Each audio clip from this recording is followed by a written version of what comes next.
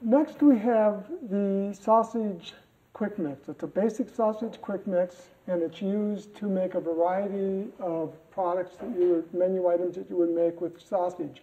I say basic because it doesn't have a breakfast or an Italian or any specific flavor profile. It's got the basic uh, sausage profile, and to that you add the Italian or make it a breakfast sausage or whatever.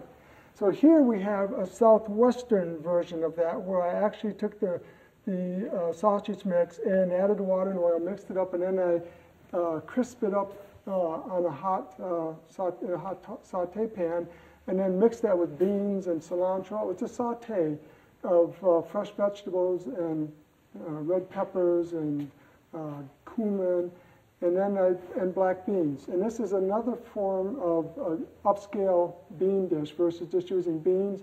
Adding these proteins to the beans adds an additional uh, perceived value, if you will, as well as flavor and texture. So it makes the customer feel like they're getting more for the money when you give them a vegetarian entree serving it in an extended version such as this. Now we're going to go to how easy it is to mix it. You just add the water.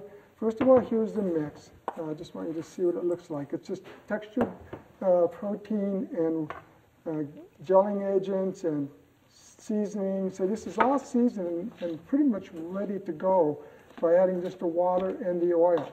And notice as it mixes how liquidy it is. It will firm up uh, and become as firm as uh, putty as it sits. It just takes on a real firm texture, as you will see in a minute. I just want to make sure it's fully rehydrated and there are no lumps in it. You can do this in a mixer if you want. You don't really have to. This is uh, an easier way. I would use a spoon or not a whip. And that's it. Just needs to uh, take in the oil. And you don't have to add that if you don't want to, but uh, it adds a lubricity to it. You can get that through the cooking technique, if you will. And next we're going to go to making the patties with it. Now this is the same method we use for making the burgers, only I'm using a smaller uh, scoop, making like a one ounce, one and a half ounce patty.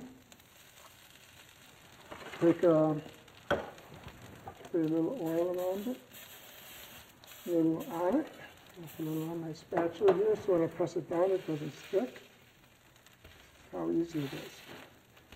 Drop it down, let it go. I'll push these to the back here. These are a few that have been cooking for a while and let you brown. Notice how well they hold together. And if you want, you can always add more oil to them. Now, these have been grilled rather high, and if you want to put a little sheen to them, add a little more oil, you can just stir them up like that and then let them set, and then all of a sudden you have sausage patties. Real easy way to make it. You can do them on your griddle as you're making your um, pancakes. You just take a little water to cook, but you notice how well they hold together. And we'll go from here to the pizza. Now here is another application, very low food cost, very popular one pound of mix making a pizza topping will yield four pounds of pizza topping. I used four ounces of that sausage quick mix on this particular pizza, and I used the Italian seasoning with it to give it more of an Italian flavor with the olive oil and the garlic and everything. The catch is one ounce of dry mix made this one uh, pizza. So your food cost in this is very low but it's an Italian sausage pizza, and the student sees that, and it's vegan, it's natural.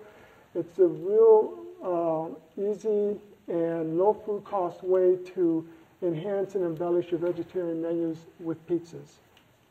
And again, there are a lot of recipe applications for all of these products, uh, and you will receive those when you request product samples or request uh, uh an order.